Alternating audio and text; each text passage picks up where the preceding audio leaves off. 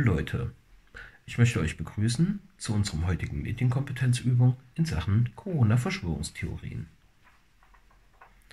Seit einigen Wochen rennen jetzt Xavier Naidoo und Attila Hildmann oder so ähnlich durch die Welt, also respektive das Internet, und versuchen euch Verschwörungstheorien an den äh, Hals anzudrehen, die zum Beispiel besagen, dass Bill Gates an der Verbreitung des Coronavirus schuld wäre.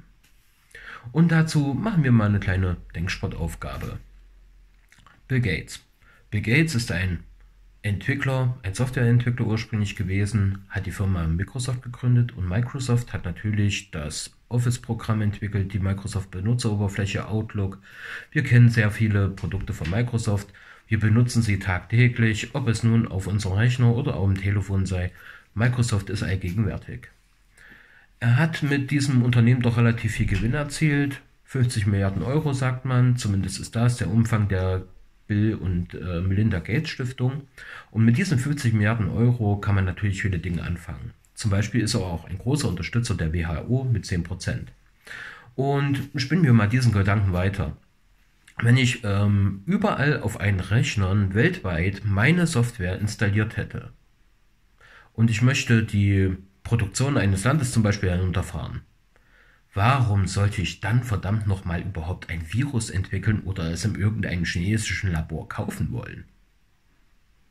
Ich müsste dafür erstmal einen Haufen Geld ausgeben und dann müsste ich es noch unter die Leute bringen, so dass es sich auch überall verbreitet. Und dann sollte ich noch ein Virus nehmen, was ein bisschen virulenter ist, also ein bisschen höhere Mortalität hat. Denn nur wenn ich effektiv viele Leute in einer kurzen Zeit liquidieren kann, hat es überhaupt Sinn, dass ich ein Virus unter die Leute bringe, um, sie, um die Welt bevölkerungsärmer zu machen, wenn ich das machen wollen würde. Zweitens, warum sollte ich eigentlich überhaupt ein Virus kaufen, wenn überall meine Computer rumstehen, die ich einfach lahmlegen kann und somit die ganze Wirtschaft sofort in Grund und Boden stampfen kann? Drittens, wenn ich ein Virus verbreite und einen Gewinn machen möchte, dadurch, dass ich einen Impfstoff entwickle, Warum sollte ich dann überhaupt Geld ausgeben? Der Virus soll etwa für 50 Milliarden gekauft worden sein, laut den Angaben, und der Gewinn wäre etwa, etwa 5 Milliarden.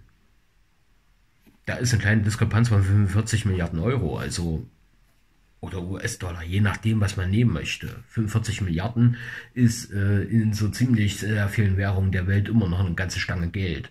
Und die würde ich doch nicht einfach so aus dem Fenster rauswerfen. Und Bill Gates würde das wahrscheinlich auch nicht tun. Und jeder, der immer noch glaubt, dass Bill Gates unbedingt jetzt dafür verantwortlich ist, dass die ganze Welt in Schutt und Asche gelegt werden sollte, nur damit er sich zum größten Herrscher über allen hinausschwingen kann, dem möchte ich nur noch ein was sagen.